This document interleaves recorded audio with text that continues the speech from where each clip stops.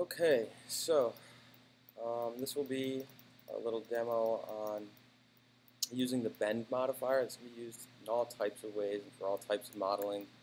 Um, and one of the things we're going to do is we're going to take this cylinder and we're going to scale it.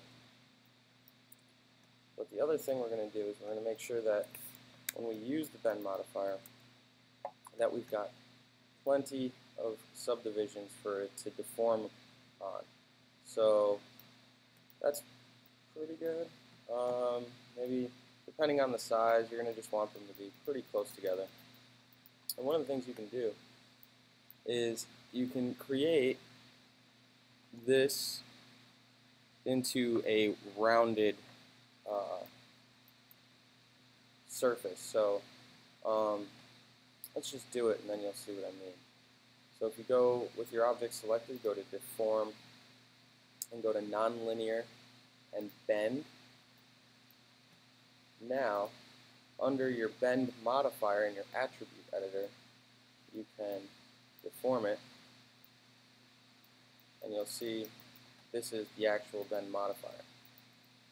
Now if you move this, you'll see you get all types of weird stuff happening. So you want to keep it where it is, where it is. Um, this inverts it. You'll notice the entire thing becomes inverted. And this scales it out larger. Um, I don't think this will do anything now. Only only on the on the direction in which it's bending. Now you could also rotate this so it bends, and that's separate from the object. Or to move the object, you'll notice it has to stay along that bend modifier. Um, so what you want to do is, depending, you can play around with this bend modifier, and you can get it to be a full uh, tube, or let's say you want it to be more of a hand railing with a rounded top. You can play around with the low bound and high bound. And now I've sort of got the start of a handrail. What you would do from here is, if this is the shape that you like, just do a edit, delete by type, uh, delete all by type because I don't have my object selected. And you'll notice that just bakes that information on there. And now that I've got that, I can now rotate it in any direction I want. And it's just like any other normal object. Um, so here I could now begin to create a really basic handrail if, if I wanted to. something like that. Just so uh, you, you, can start to brainstorm some usefulness up for this tool. There's tons of usefulness for it, um, but just to give you an idea. So the next video is going to be on what I'll do is I'll finish this as a object, but the next video is going to be to unwrap this object. And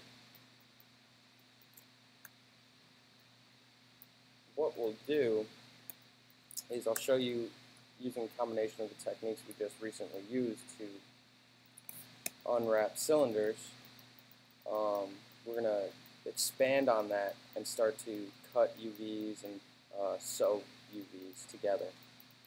So um, that will be next time and I'm just going to simply create this into a handrail. So we've learned all types of things such as uh, combining objects and now we know that they're not really combined in a closed object until we merge these vertices. So now we've got the start of a, of a handrail. Um, and it's one full closed object.